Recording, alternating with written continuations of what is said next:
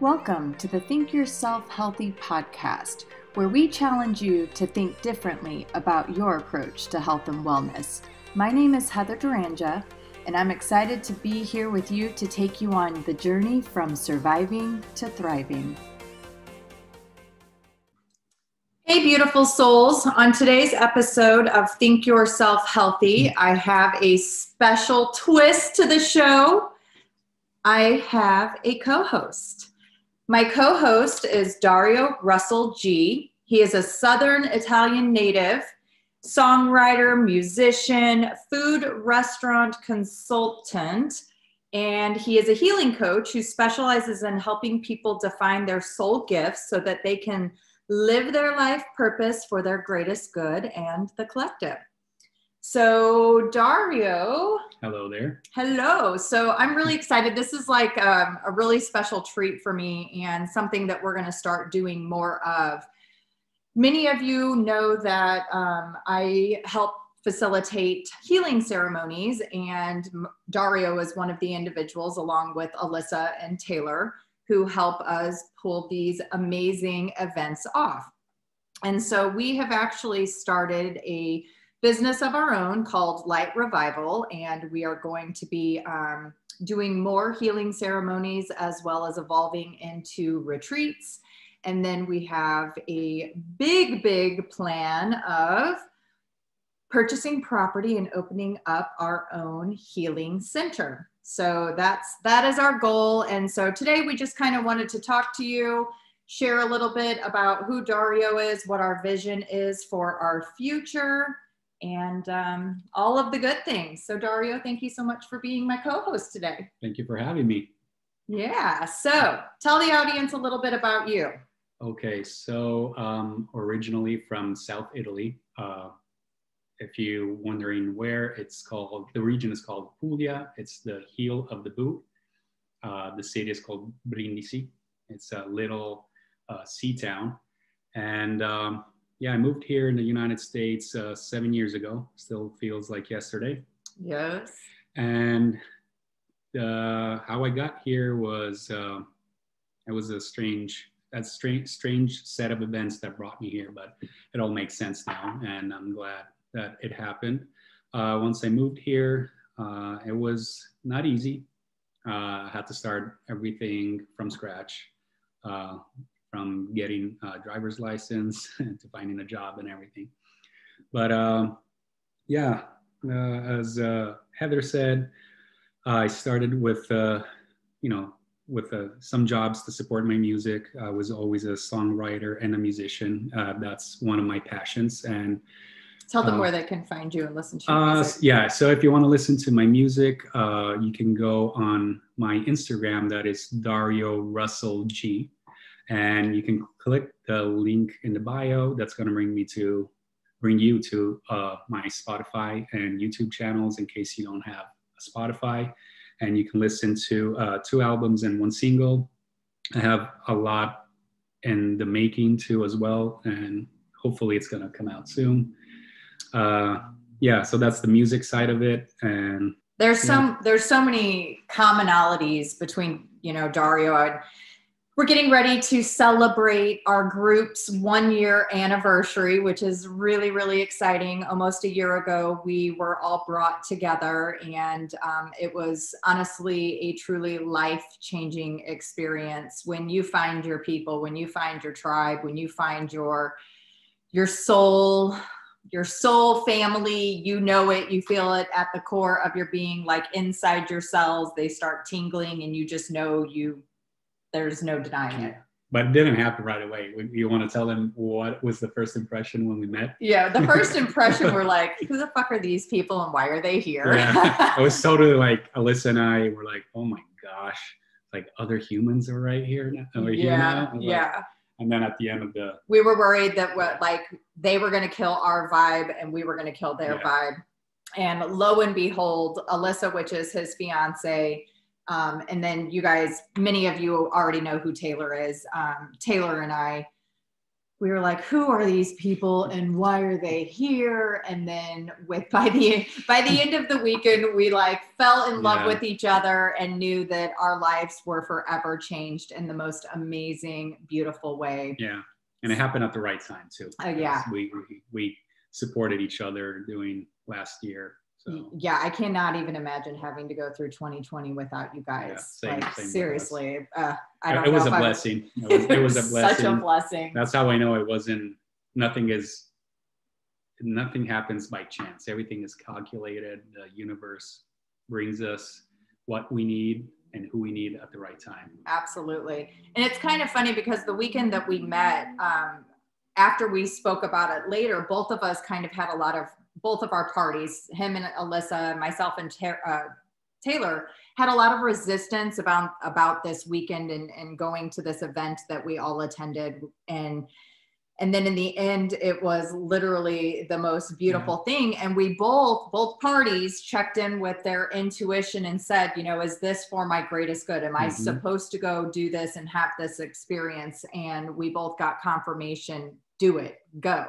So we have learned to grow and embrace each other and the uh, downloads, the, the callings, the intuition that we each um, give, and we help one another support that, which is truly amazing. I know a lot of people um, over this last year have had many different experiences in terms of their own awakening or their own spiritual awakening. And so, for me personally and Taylor personally, I know that we could not have gone through this experience without Dario and Alyssa because they literally have been such a huge support when we're vibing low, when we're purging and having, you know, really emotional moments and a lot of doubt and uncertainty that creep in. Dario and Alyssa are there to bring us up and vice versa. Yeah.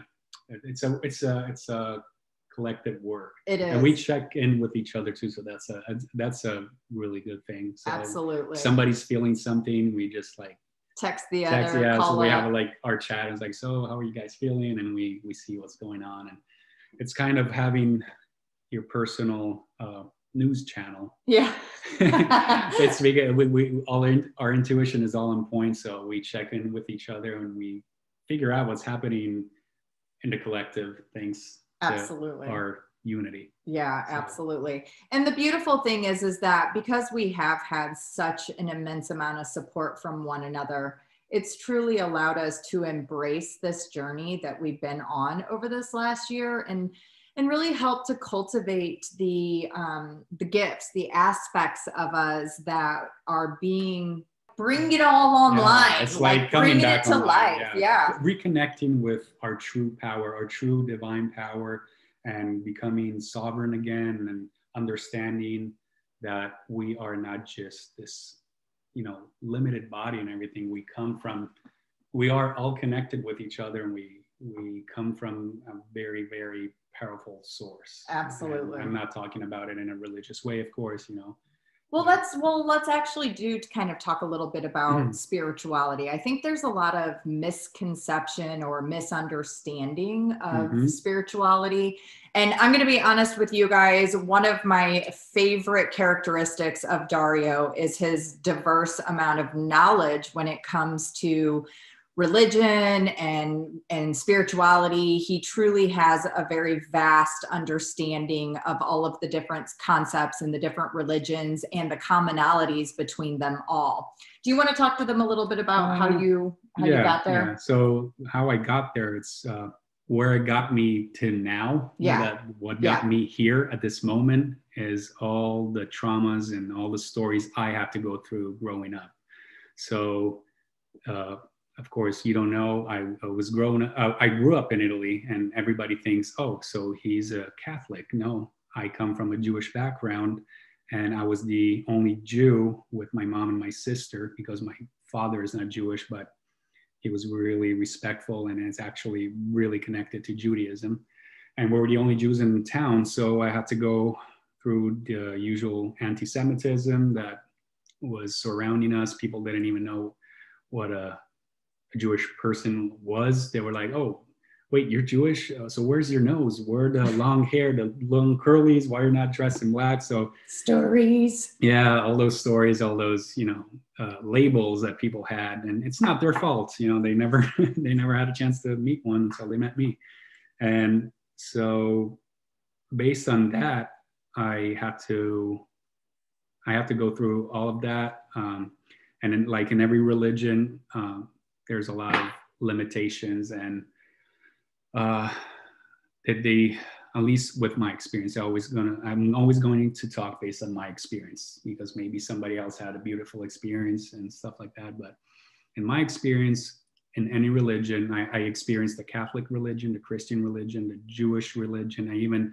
uh, experienced the Greek Orthodox religion because I grew, I, I part of me, part of my time in life, uh, I lived in Greece too. So that was part of my culture growing up. And there was always this guilt that you have to have in religion. You always have to have this shame, and God is watching you and He's judging you. And there's this fear of God. And and I got it like I was like, wait, why do I have to be fear of God? If God is love, right? Mm-hmm. God loves me. God created me. I mean, I didn't choose to be here. Part right. of me made my soul decided, but who created my soul? Where does my soul come from? So all these questions brought me to the point where like you know, it, it shouldn't be about that. So I got to study the Torah on my own, and that is what people usually call the Old Testament or the original Bible, uh, the the old version. And I got to study the Catholic one for some time because I how do you call it here? After school, they used to send me to church. Right. Catechism. So, yeah. Well, I, I grew That's up. That's what we call it. I grew up and I was raised a Catholic, and so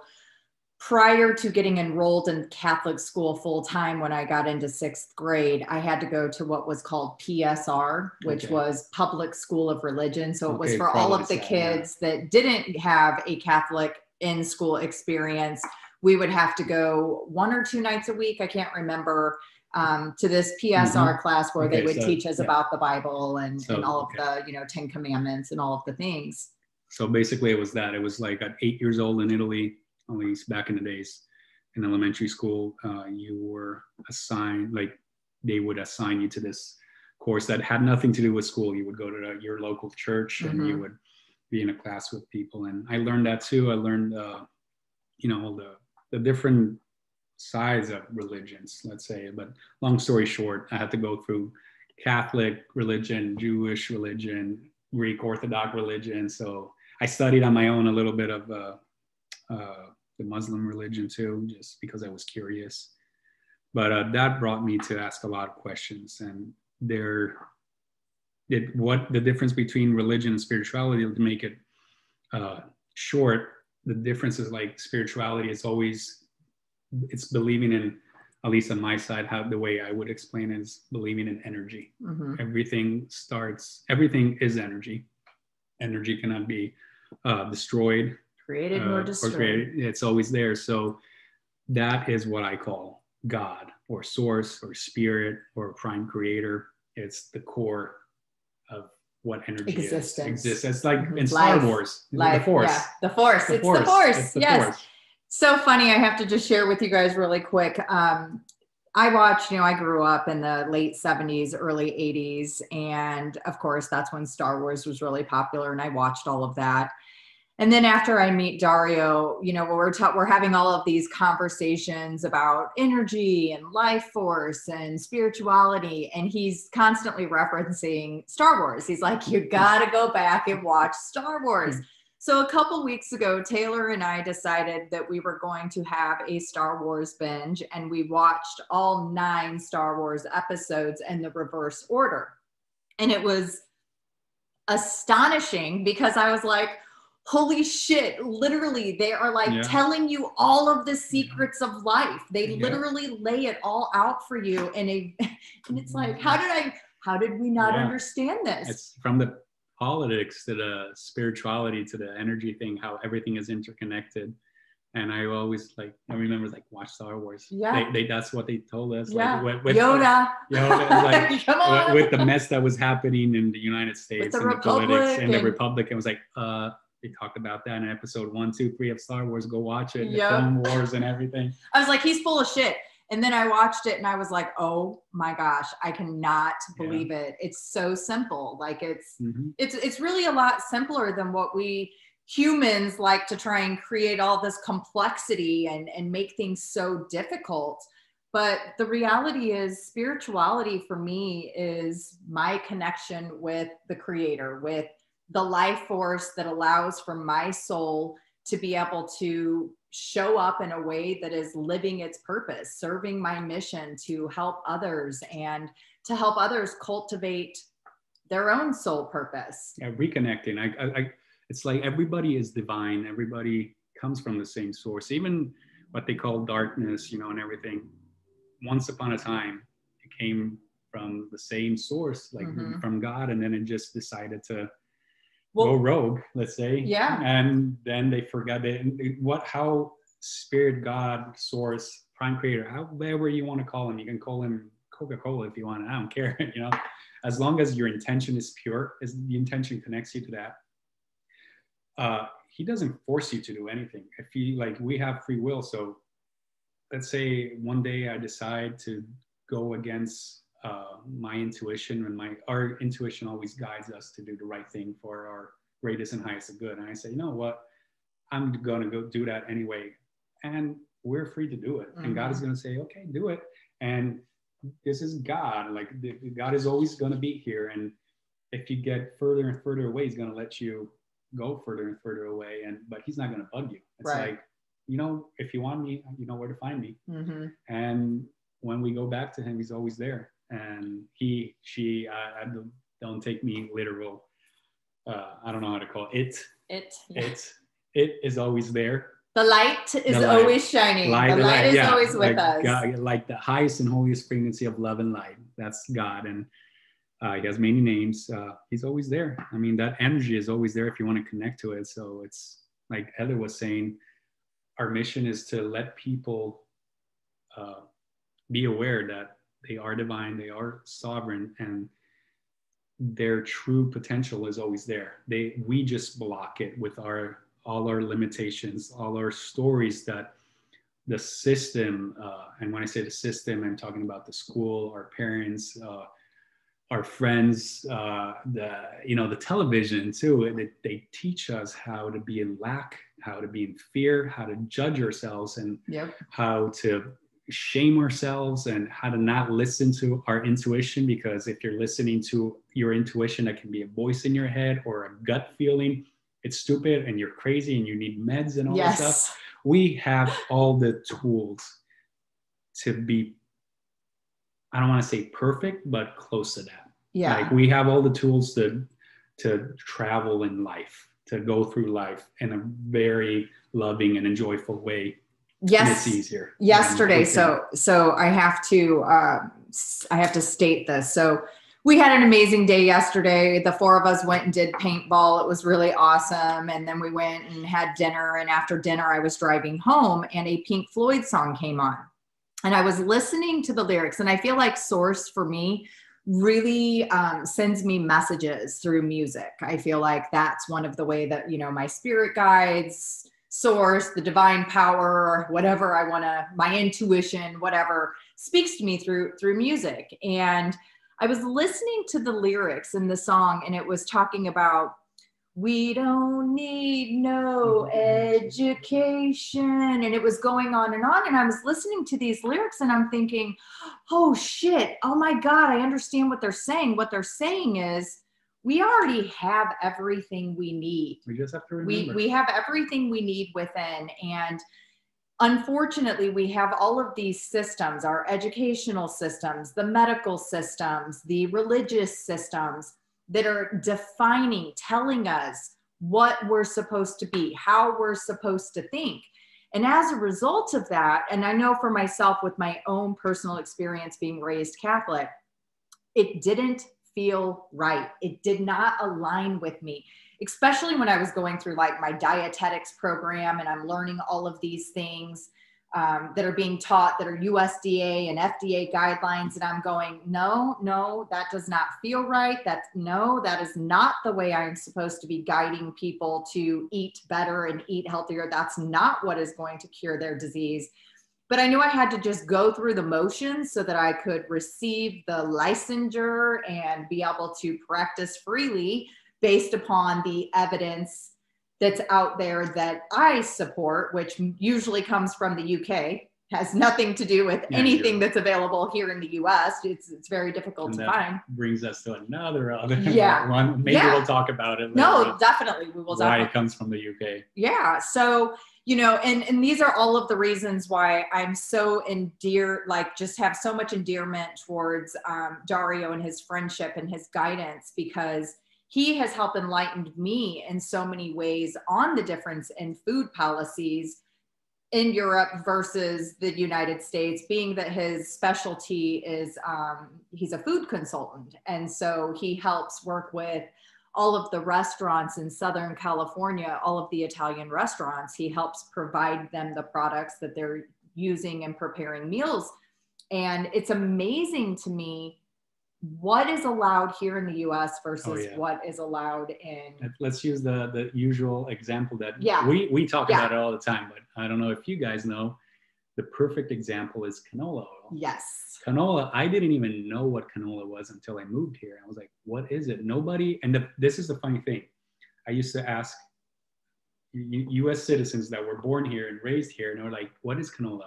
And they didn't even know the answer. Like, I think it's a plant. Yeah. They would say, I think. I was like, how can you think? It's so it's derived from the rapeseed plant. yeah, but it's chemically Altered. altered in labs. That's the only way you can get the oil from. Yeah. And the reason why I didn't know about this before moving here, it's because it is banned in Europe, at least in Italy for sure. It, you can't use it. It's uh, cancerous for you. It's super bad.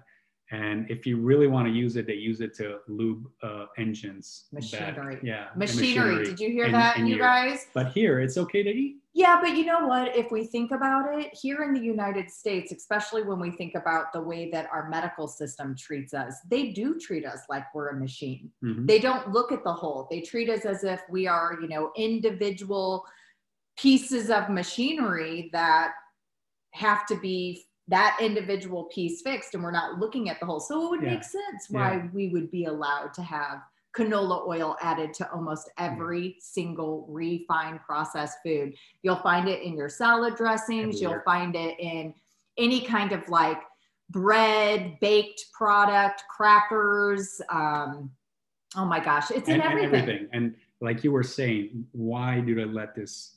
Why is it allowed here? Like Heather was saying, they see us as machines and to fix. They they don't they don't see us as machines. Like I I, I love my car. You know I, I know I'm, I use it. That's my job. Without my that's my office. Right. So I Especially here in Southern California. exactly. Oh my you appreciated quarantine. Yeah.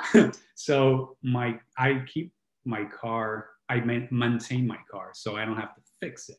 right. and the system is not built to maintain us in a healthy state of mind of body and emotional it's it's the system that is built to fix the problem not solve it before it's there or maintaining a healthy Well, I don't even know if it's necessarily fix I think it's more about um, just putting a band aid over symptoms. Yeah, well they want to wait for you to be uh, to have a sickness or something so then oh okay we know how to fix that symptom Right. well how can we avoid that sickness how can somebody not get to that point Right. that's what the system is not doing right. and that's what we're trying to let To people help. Yeah. we're trying to let people know hey there's a lifestyle there's a way of life where you don't need to get to that point where your kidneys are failing or you have to become a di- Right. you, you have to have diabetes or anything like that if and it's nobody's fault because as we say it's the system is not built like that but we're trying to fix that telling people hey you can avoid to get you can not get to that state Right. Well, I can this. use myself as an example. You know, at 18 years old, when I got diagnosed with this kidney disease, my doctors told me I had two options. It was either dialysis or transplant within five years. That's what my prognosis was looking like. And they told me that there was nothing, zero I could do to fix, fix, help, support, minimize. There was nothing I could do. My only choices were dialysis or transplant within five years. And for some reason, there was this feeling within me that said, mm, I can't accept that as my truth. I can't Intuition. accept that. That's the It- intuition. yeah, it was That's my the intuition, but back then I didn't know what the fuck intuition was. Absolutely not.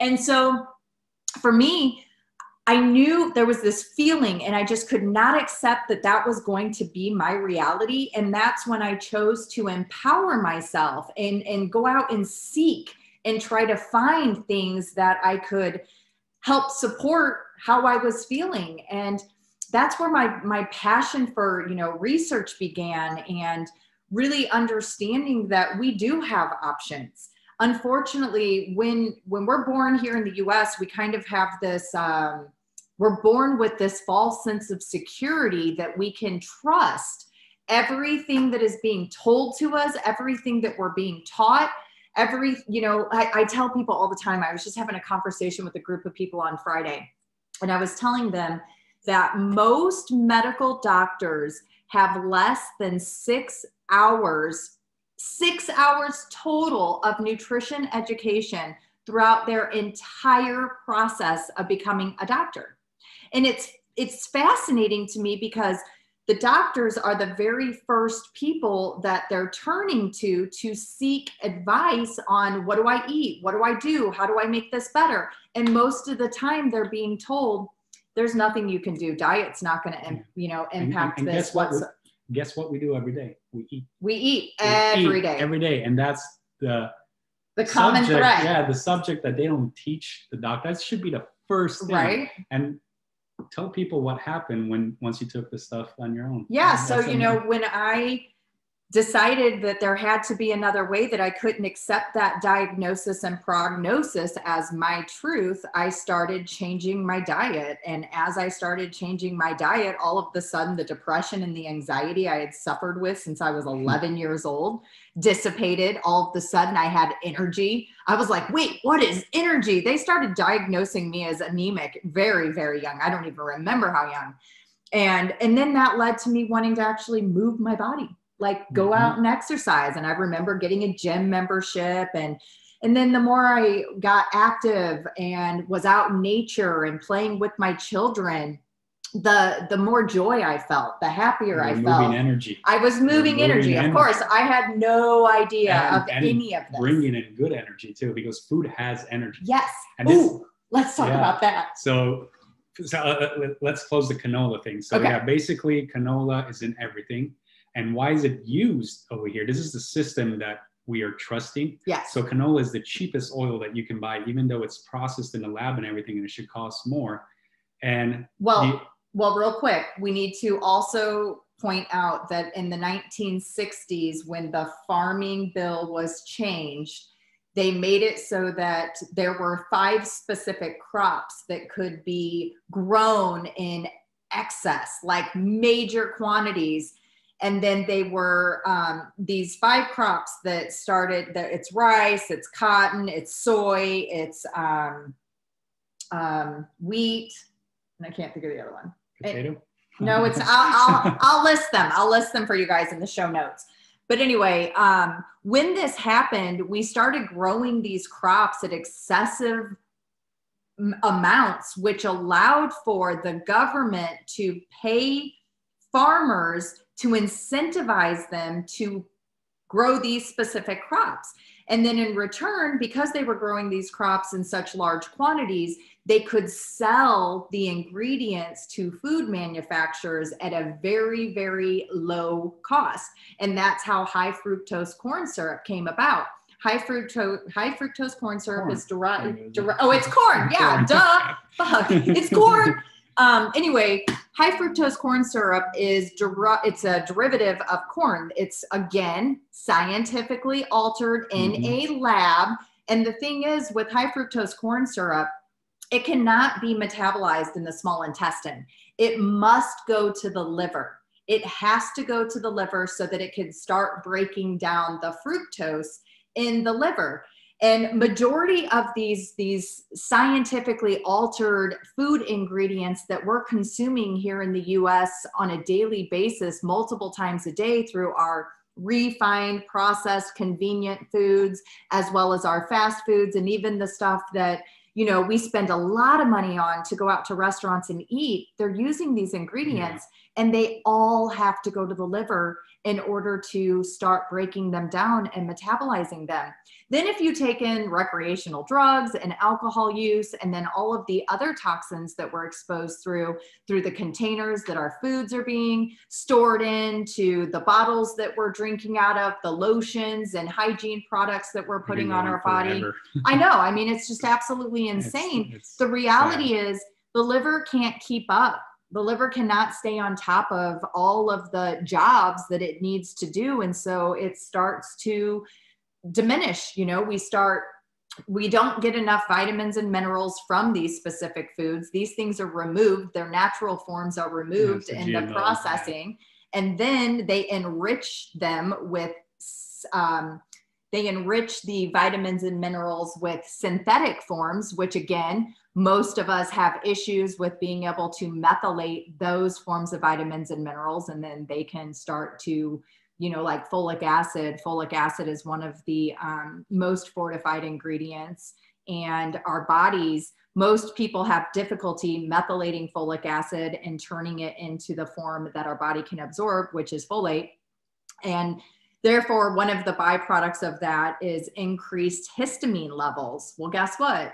Histamine is one of the causes for cardiovascular hmm. disease. And we wonder why we have you know uh, epidemic around cardiovascular disease as well as diabetes um, high blood pressure obesity. It's all linked. It's mm-hmm. all correlated. It's all a chain. Yeah it's it's so if you don't want to use canola oil you can use sunflower oil. That's that's what we use in italy to fry. To fry. Deep fry deep fry because if not, we use olive oil for everything at a medium flame. It shouldn't burn because the olive oil is like it's not meant to be used for frying because it burns. So that right, it doesn't have as high of a heat. If you have a little bit more patience and you have a pan, just put a medium low heat and you can fry any. I, I fried calamari with olive oil and takes a little bit longer to do it in a pan and you know lower flame, but well, another amazing. option could be um, coconut oil. However, That's a lot of people do not because coconut oil has one of the higher um, heating temperatures yeah, where it doesn't break down and become rancid. But a lot of people don't like the flavor yeah, of exactly. coconut. So if that. that's the case, if you don't like the flavor of coconut, then go and get the refined coconut, which is where they just remove the ammonia, that flavoring from the actual oil.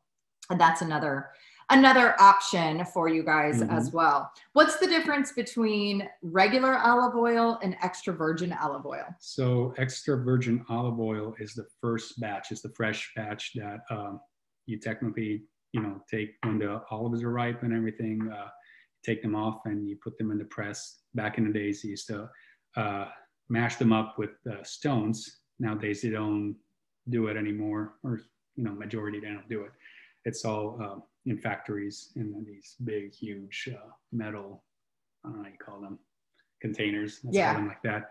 But uh, extra virgin olive oil is the first uh, fresh press. So when they press it the first time, cold press. So everything that comes out from the olive, that's the extra virgin olive oil. Okay. Um, so no. is that going to have the is that going to have like the highest amount of antioxidants and omega yeah, that's, 3s that's in it? the best. Okay. That's the most expensive and that's what's healthy. Actually, you can use it for your skin. You can, you know, drink a little bit a day. You want to drink too much, if not, you go poop. Right. But uh, if, if you need to go poop, drink olive oil. Yeah. So for all of you, which most Americans are suffering with constipation, take a couple tablespoons oh, of oh, yeah. extra virgin olive oil and you will have relief right away. Yeah, perfect but uh, and that's the extra virgin olive oil. And what uh, olive oil is different than extra virgin. It's let's say it's the ex, uh, olive oil never goes bad but after a year usually uh, the sediments of the olives that that are in the extra virgin start going at the bottom of the bottle or the containers. So what they do they take that extra virgin and go, they throw it in a,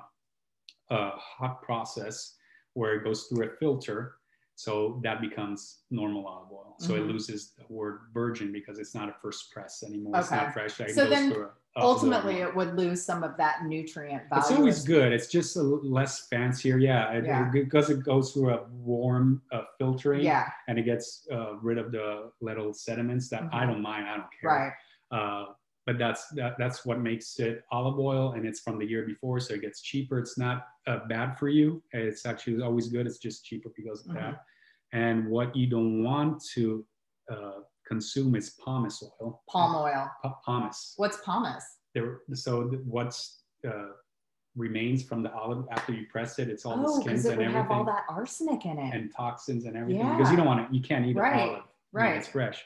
So that that what's the what they make pomace oil that they some people you know move it as olive oil but it's not and that is banned in italy too oh shit. so that is used for See, learning things. something new every day. and here there are restaurants that use it and why do restaurants use it because they're put in a position where everything these products are cheaper a canola oil is way cheaper than uh, sunflower oil, and pomace oil is way cheaper than extra virgin olive oil. And guess what? We're not even getting real extra virgin olive oil here in the states because there's not even enough for italy. So italy Wow. keeps its batch and what we're getting if we're lucky we're getting uh, basically uh, olives from the mediterranean territory. And if it, they're like uh, you know if they're honest and everything it's the first press of all those olives that are not bad. It's just a different Okay. type of olive or if you really want to go safe uh, get extra virgin olive oil from california it's going to be a different taste it's going to be a little bit more bitter because the trees here And that are those are all grown up north, right? yeah yeah but the, the trees are in are uh, young Okay. that's why the olives still are developing the taste, and it's different than Italian extra virgin olive oil because we have olive trees, especially from where I'm from, Puglia, Mhm. That are older than Jesus, you know, or Yeshua, however you want to call them.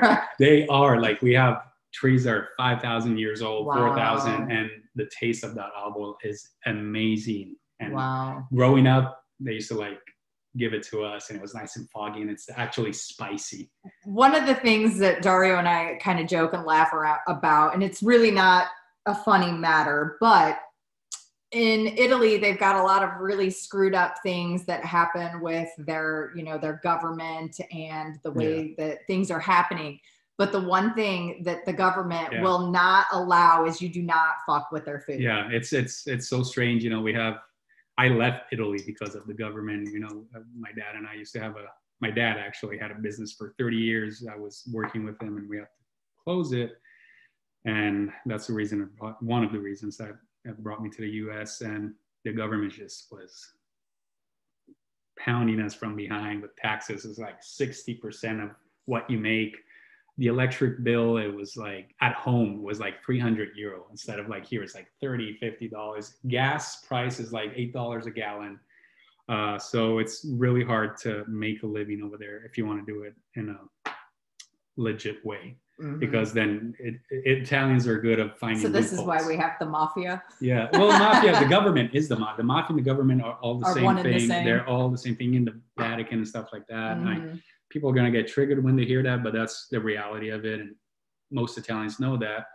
So the government is totally corrupted. Uh, it's people don't believe it, but it's the Communist Party that took over, and They're, they took the borders off. All these people came to Italy without any uh, controls or anything. And I lived in, from Rome to Bologna to Padova for down south. Down south doesn't happen that much because we know we we defend ourselves in the Mhm. little town. You know, like they said, the mafia and everything.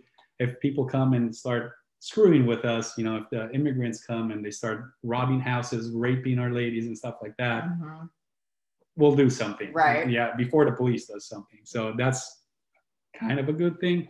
But up north, there is not that. There's not that community. So they do whatever the heck they want. I remember riding the night bus in Rome at two o'clock and not I, I don't want to I'm not going to say any race so people don't get so sensitive and everything like that but there was immigrants that are like gathering in 10 12 of them and they tell the driver that is stopping because he has a time hey get inside we got to go and they have knives and stuff like that and the driver is afraid that the police doesn't do anything and they harass they harass a lot of people so that's how the government is it's i i i, I and, and, and let's say it in simple words italy is part of the new world order Yeah.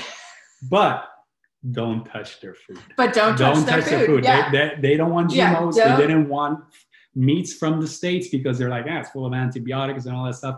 And people that try to go against these laws, they get fined really, really bad. and and even prison. Like Yeah, yeah, yeah. it- there's, Yeah, they, you get time. shut down. You get a lease from a hundred to five hundred thousand euro uh, ticket. You go uh, in court and you can get arrested. And this is for like, let's say, uh, having cows that have like you're selling cows that have a broken leg or Mhm. they're they have a, a cold or something and We got to treat them yeah with the and, antibiotics. yeah so the, you, you have to have uh, uh, cattle that is actually healthy Mhm. right? and that's the nice thing of italy and the culture of food you don't you don't screw with our food Right. And then, you know, we can look at the statistics of the rates of disease over in Italy versus Oh, what's happening here in the US, yeah. allergies. I mean, the list goes on and on. So I think it's, you know, I think that there that it's an important concept that we have to take into consideration. Well, why is that so different? Well, it seems to be that the food is the common link. We have uh, the yeah. worst regulations here in the United Yeah. States for protecting us against Mhm. ingredients that are going to harm our physical and this bodies. goes and not just our physical Yeah. bodies, but our mental bodies. this goes hand in hand like i wanted to say with spirituality yes. with our energies because uh, you, we, we say in, in Italy, or the Jews even say that you are what you eat. Abs- you are what your food eats. You, uh, or yeah, you are what you, you are, are what you what- eat. So if you are what you eat, you want to eat what is loving and that is healthy and that animal. If you have to eat animals, you want to eat animals that are tame. You don't want to eat aggressive animals. First, because aggressive animals may eat humans. And do you want to eat an animal that potentially ate humans like a shark or a bear or stuff like that? right. First, no. Second, you you are going to uh, feed on their energy because Mhm. energy flows in their blood and stuff like that. So do you Well, want we we can actually take this to a science perspective, Oh yeah, yeah. This and, is and it boils down to cortisol. yeah, right this is why and- the and jewish blood. the, you know in the jewish religion um, you don't- kosher Yeah, it's kosher is so important because you don't want to you don't want to consume an animal that just got food, traumatized any, any food. any kind of food that was Yeah. traumatized Yeah.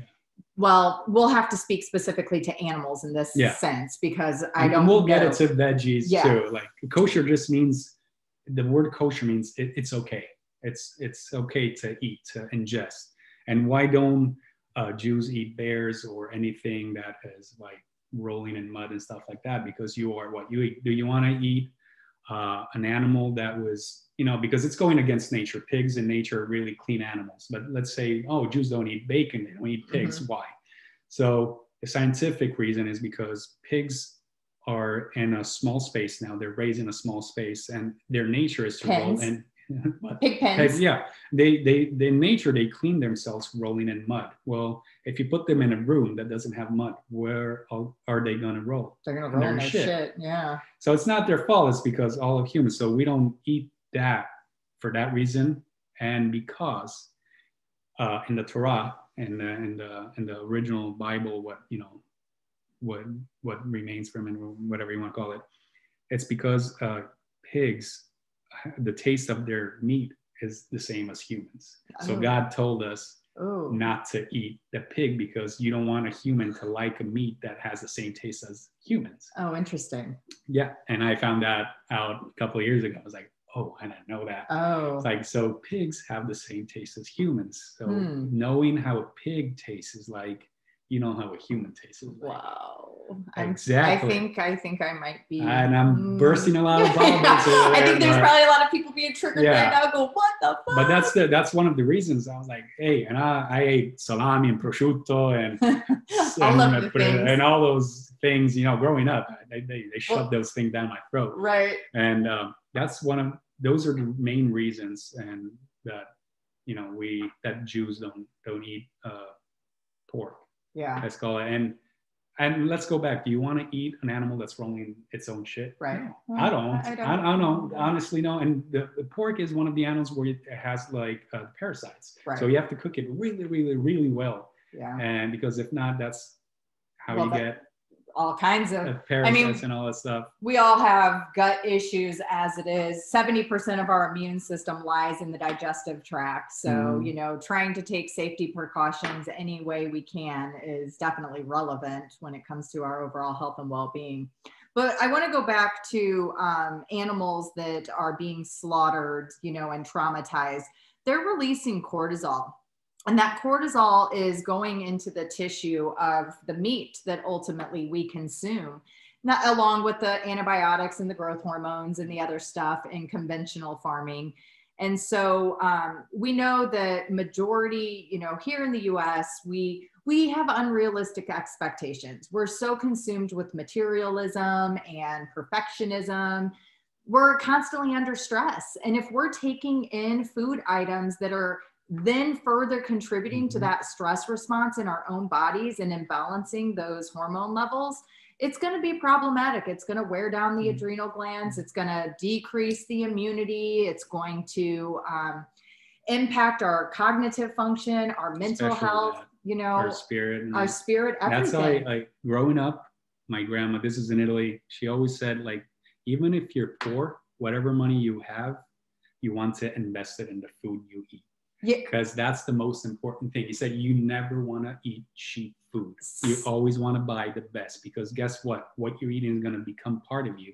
You're going to digest it and that you're going to become that food. Yes. So if, and let's put it down to this very simple in this life experience without your health you cannot do anything you cannot earn money you cannot follow your passion you cannot do good you cannot do anything without health and people and when i say people i'm included there too we lose uh we lose like this view of it i was like oh wait I, but work work work right. oh money well, money money guess what? Well, let's, I mean, I think we can take it to a vibrational state. Yeah. Right? And that's what so, it's all connected when I say kosher and the food and yeah. you are what you eat. It's basically, you want to eat the right stuff or the, the best for yourself because the most nourishing, nourishing food that was like cultivated in a, in loving, a loving, and natural way mm-hmm. that can go from animals to apples. And this is like when i have discussions with vegans. Oh but kosher it's still killing the animals. Like yeah technically the real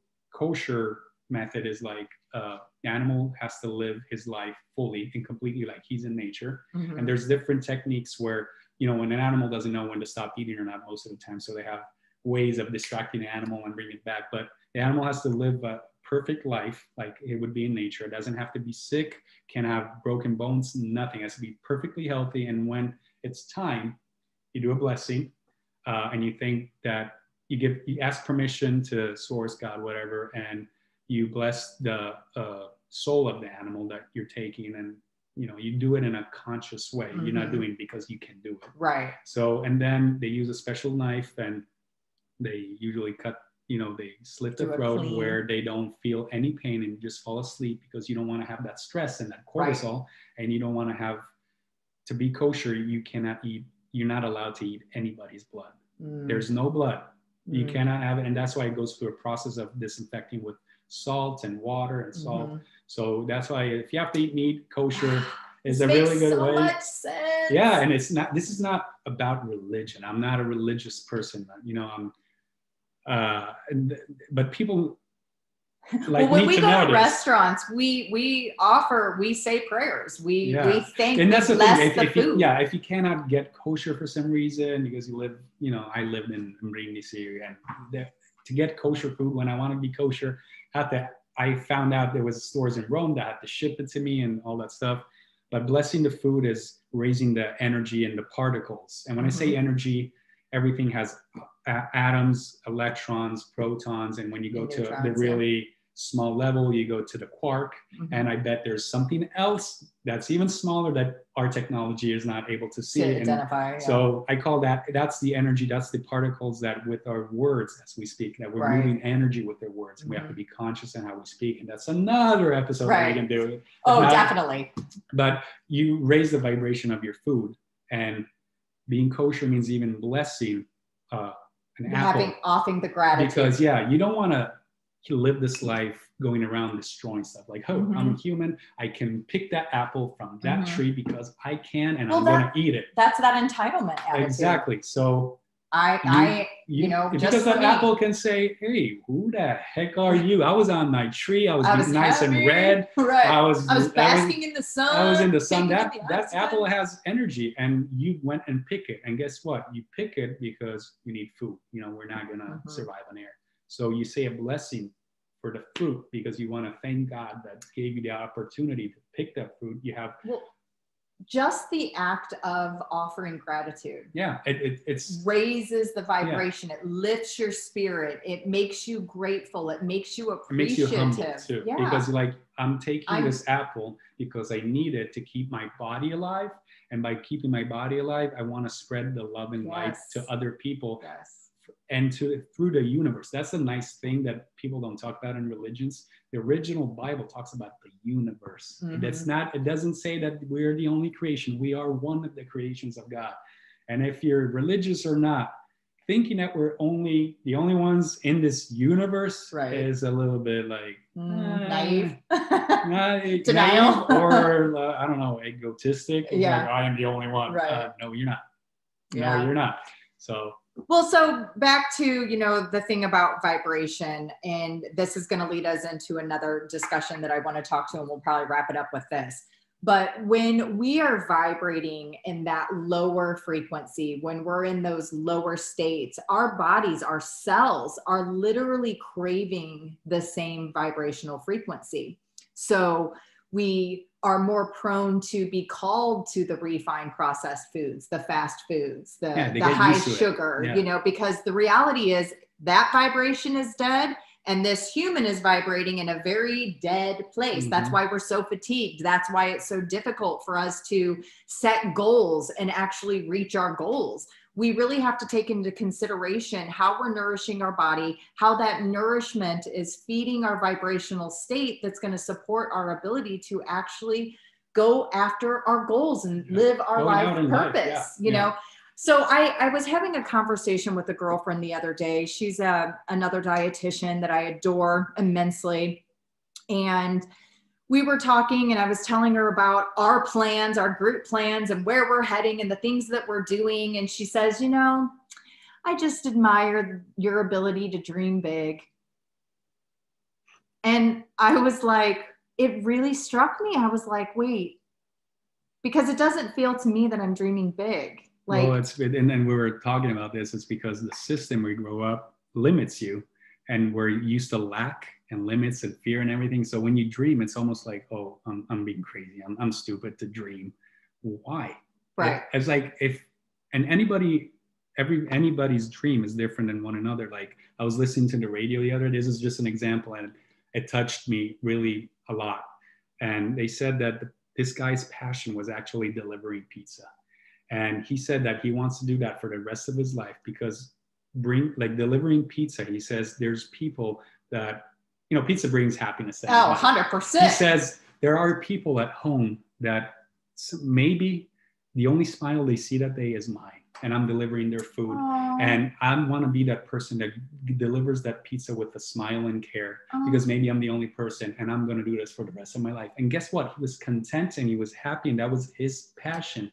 And nobody should judge him about it. I was actually, he's ha- he reached happiness because it's not about money or anything. It's about that balance. Yeah. He was doing his job, earning his living. That is enough for him and guess what? It was fulfilling his soul well because he's ultimately he's thinking about the greater good. He's yeah, thinking about the collective felt, he felt yeah. aligned with it. Yeah. he's like that's what i love to do. So oh, when something that. is aligned with you it's going to work. No matter what. Don't think of how and stuff like that. I know probably you guys heard this but if something doesn't work out it's not in alignment. It's not your mission. Like well, so don't force it. but and, and then let's you know this and takes us back to that vibrational mm-hmm. state because when we're in those lower vibrational frequencies. The consciousness that we're operating from are typically victim mode and trying to control circumstances. Mm-hmm. And when we aren't able to control the circumstances, then we loop right back yeah, into victim mode. Yeah. And so we stay in that negative healing loop that's keeping us vibing in that lower vibrational frequency. Then we're craving the recreational drugs, the alcohol,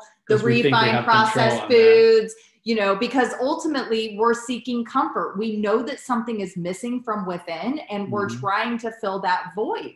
Mm-hmm. And so I, I love that. I think that's such a great example. When my father, when my biological father passed away in 2009, I stood next to his casket. And the amount of people that came up to me and said, Whenever I think of your father, the thing that pops in my mind is his smile he was always smiling. That was his life purpose. His life purpose Mm-hmm. was to constantly have a smile and to have a friendly interaction of Mhm. love and light with every individual he came in contact with. And that was so impactful for me in that moment when I heard those words from all of those people over and over and over again. I thought, wow, what a legacy. What an amazing thing to be remembered by. It wasn't what he had, it wasn't, you know, the job that he worked. It Mhm. was the But we don't smile and the it. peace and joy that Yeah. he brought to people when they encountered his presence. Mhm. And this is Ah. what we need to remember.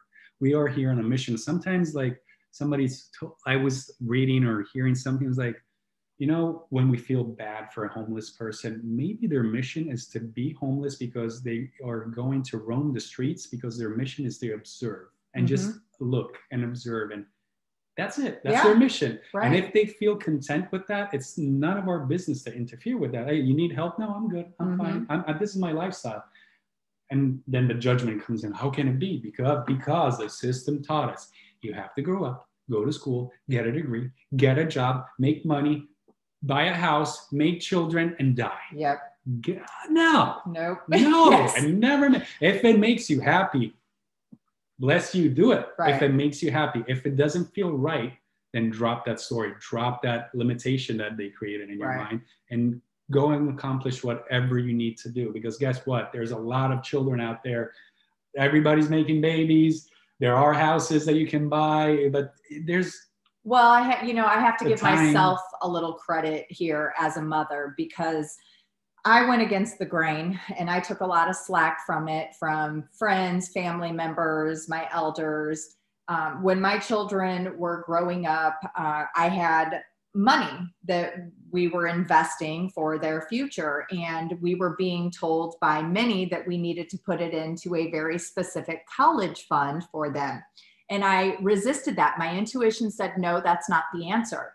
And the way that I was able to, um, you know, understand this intuition that I was having is that we put this pressure on children that they have to follow these specific steps. But more often than less, when they follow these specific steps, it's for chasing the money, it's for the materialism. And then in the end, they sacrifice all of their own well being. They achieve all of the money, but they don't have the happiness. And so I decided that I, that's not what I was going to do with that money. I was going to invest it in another way. And I chose to invest it in a way that many told me I was absolutely crazy and insane for choosing the option that I did. But in the long run, it, it worked out very well in our favor. But back to this point, when my children were growing up, I used to tell them all the time, I don't want you to feel pressured that college has to be the answer for you. The reality is, you never know you know you do life and as you're doing life that's how you are being led to the different journey to the different thing that's Mhm. going to fulfill your heart bring you joy bring you happiness allow you to share your gifts but we we take that away when we put this pressure that you have to get this specific degree you have to you know work this specific profession and then you get the money and then you have the it's, things it's when we ignore intuition and then yeah because sometimes to to so listen to your intuition, you have to do a leap of faith. Yeah. And then there's the fear that kicks in. It's like, oh, I don't want to leave my job because I don't have anything to. Yeah. So I Mhm. advised both of my daughters. I said, first, find your passion. What brings joy to you? What makes you happy? When you can identify those topics, those things of interest, then you can start pursuing something. And both of my girls, you know, they didn't go the traditional college route. Um, my youngest did for a while, and she stepped away and decided that she was going to go out there and follow her passion. And they are both so happy. They're doing amazing. They've they have more opportunity and more potential than many people, many of their friends. And I, I'm so proud of them for listening and honoring that inner part of them that mm-hmm. said, go for the joy, go for the happiness. And guess what? That's where they're finding the money.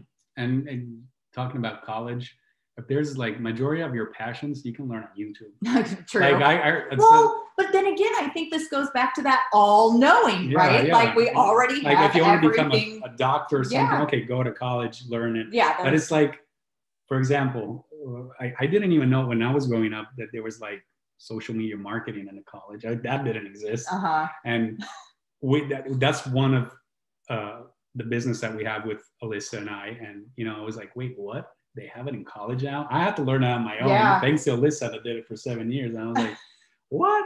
Or like even psychology was hard back in my days. Like Mhm. only two universities in Italy had it. And I was like Wow. super hard to get in with the test. And now there's like this psychology and that psychology. They, and they're making, they, the other thing was like travel industry, like in the Mhm. college. Oh, like hospitality. Yeah. Hospital, like yeah. I was like, what? My dad, you know, He's been up. doing hospitality his whole like, life, right? I, I knew it because I grew up and it was like, what? You studied this in school? Right. I was like, no. Well, you, you know, funny enough, as a registered dietitian, one of the domains that we have to study is food service, which is part of hospitality. Mhm. And so, yes, there is a very specific formula for hospitality, believe it or not. oh, no, I believe it. but it's like, oh, they have everything that now you have need a degree for everything. But yeah. really, thing the thing that So we need more debt. Yeah. we need more debt. you, you just need experience. That's Yeah. what people need because I see it in the working world. If you have experience, it's valued more than a degree. Absolutely. And if somebody's really needs a degree and they don't value for what you're worth and what your experience, you don't want to work them. Yeah. Go and do your own thing. Well, I feel so blessed that I was able to follow my passion and, and go the route of learning holistic lifestyle practices and being able to share those holistic lifestyle practices with others so that they can start living their greatest good, the best quality of life possible so that they can chase their dreams. And that's something that we're all very much Mhm. dedicated to. You know, I, I love the fact, I love sharing with people that now in this present day, I have bought 27 quality years on my life from that day that I was 18 years old and told that I was looking at five years before I was going to need dialysis or transplant. Did you ever get it? Never. I mean, literally, I've never been on She's any an medications. My doctor, I just went and saw a nephrologist just to have a checkup, and she couldn't believe it. She's like, wait, you have IgA nephropathy? You're not on any meds? You don't have diabetes? She was like, where are your cards? Do you know how many client or how many patients need you? She was just absolutely astonished. She could not she was believe. one of the people that appreciated it because guess what? The people that are supporting this system, they're going to say, oh, there's no proof. It's not medically right. and blah, blah, blah. And they'll find some excuses You know- because they teach you to follow I the experts. Quote, absolutely quote. right. Who are the experts? Who ask that question? Who are they? Right. Who's the FDA? Who's doing these rules? Who these same experts are letting you uh, consume toxins? yes. They're getting you in that state. Well, and the state. thing that pisses me off when I have conversations with people about this, because they're like, well, go look at the research. Well, guess what? Why don't you Who's look at the- who yeah. is funding the research?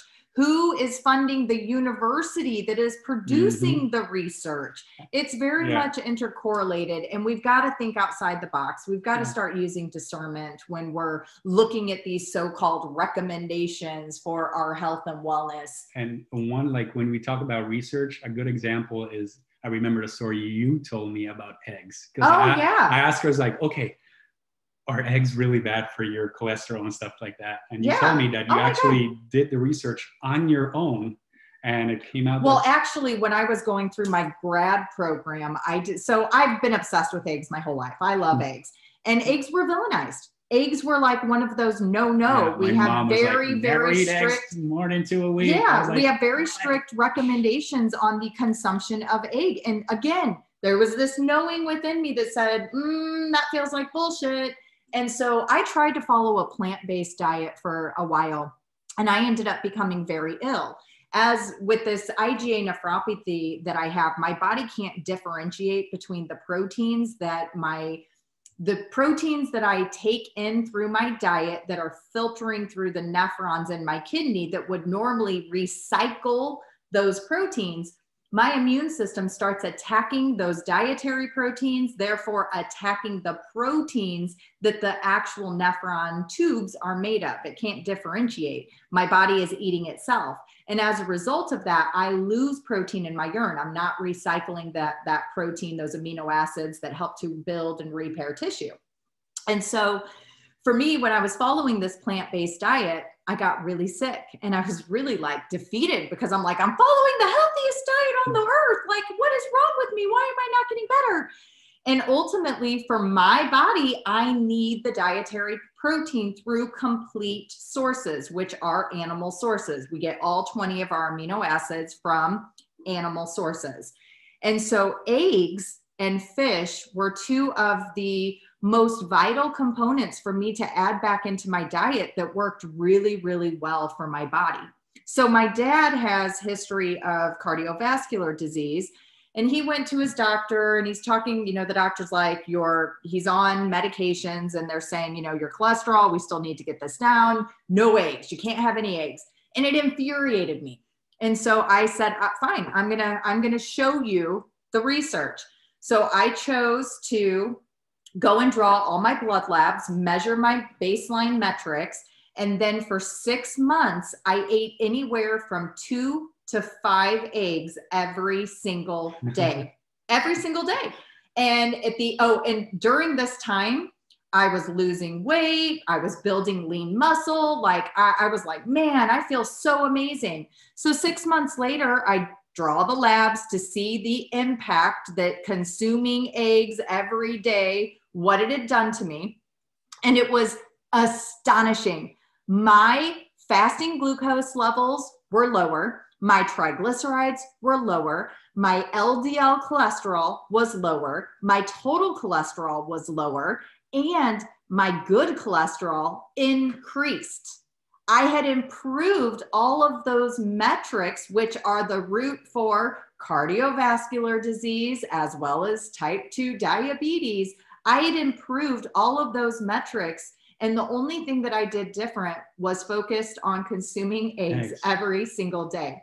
But back to when I was in uh, grad school, I devoted an entire semester to researching eggs. I really wanted to know the truth. I really, and it was hard because, again, we have to look at mm-hmm. who is funding exactly. the research articles. So I had to be dependent on um, retrieving a lot of the evidence from outside of the mm-hmm. United mm-hmm. States because in the 1960s when our government decided that we were going to make fat the villain for cardiovascular disease as well as you know the increasing risk of developing type 2 diabetes we chose fat here in the US and over in the UK they chose sugar so they made regulations around limitations on how much sugar should be consumed and here in the US we made regulations on how much fat should be consumed. And as a result of that, we have now, sugar, right? no, not sugar. Guess sugar why? was, why? why? Tell me.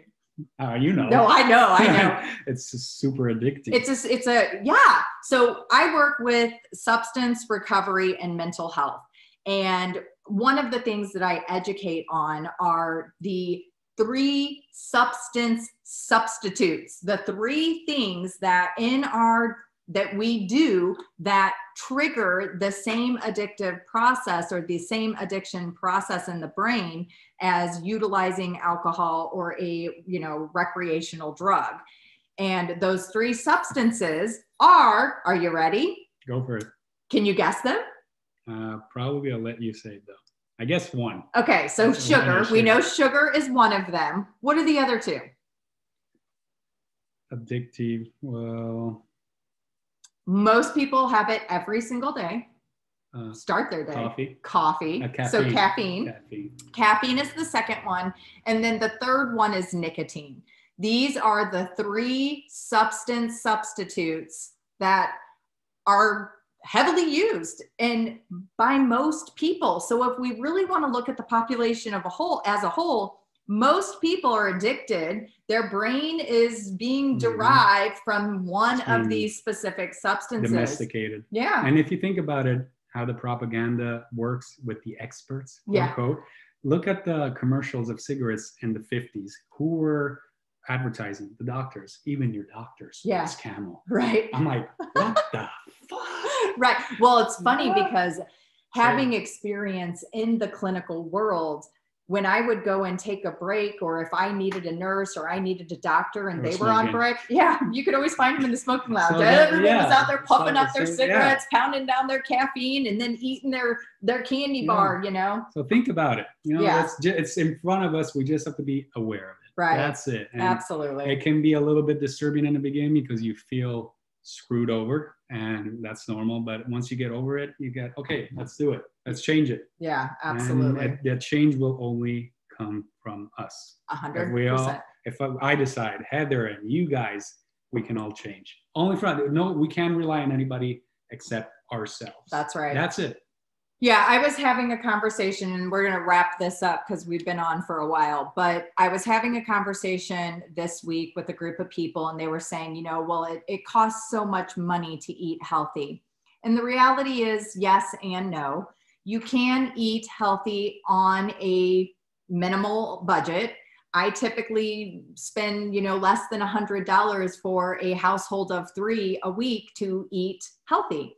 Um, but if we choose to take responsibility and accountability for our own consuming actions, we have the ability to create change. We have the ability, you know, one thing that people don't realize and understand is that when it comes to organic farming, organic farmers are not getting any kind of federal money. There is no monetary incentive incentive for them to farm organically. They actually have to pay money to be able to for, farm organically.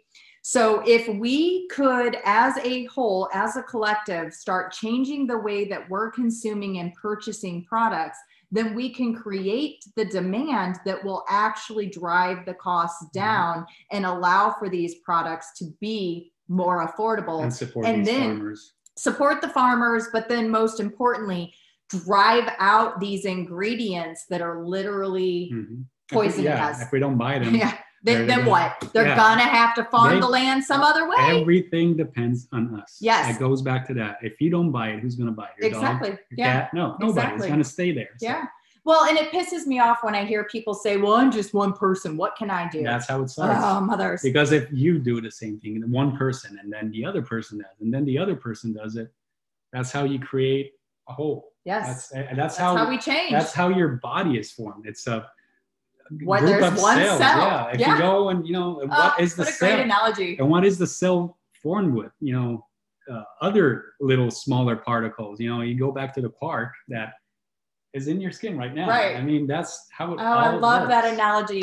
It all starts with one cell, One. and that one cell Yeah. How the becomes this start? trillion Yeah. celled human body. So, yes, it starts with you. You have the power to help create the change. Yeah. So, well, guys, I really appreciate you hanging in there with us today. Um, Dario, thank you so much for being on. It was such a pleasure. you for This having is me. so enjoyable, and I would love to do more of these. So this is something that Dario and I are going to be joining forces and doing more of. So for all the audience listeners, if there's anything specific that you want to learn more about or hear Mm-hmm. Let more about, know. let us know. Yeah, if you if it's religion, spirituality, food, uh, even Our retreats. yeah retreats. uh, yeah, if you need if there's any blocks you want to you know get over with, you know your life, music, you know, Music, all of it. even yeah. movement, even your Movement, like, yeah. physical body. If you need uh, help with uh, Alyssa you know, does this this booty yoga. She's a yoga instructor and she does booty yoga.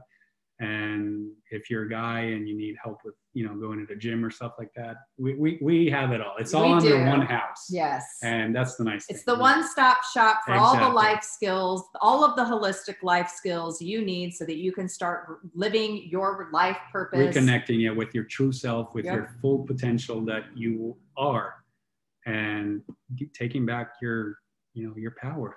Well, exactly. I love you, friend. Thank you so Love you too. much. All right, guys. You can find Dario. Where can they find you? Uh, it can be Instagram on Dario, and Dario is like Mario but with a D. Dario Russell with two S and two L's. G. And then where can they find your marketing? Uh, it, uh, my marketing is uh, Da Bombb Media, so it's D A B O M double B Bomb Media on Instagram, or uh, it's thebomb.com. Awesome. and we'll make sure that we link his music page and all of the other sources that are available so you can connect with Dario in the show notes. All right, guys, have an amazing day. Go out there and give lots of love and shine your light as bright as you can. Yeah, you be all blessed. Bye bye.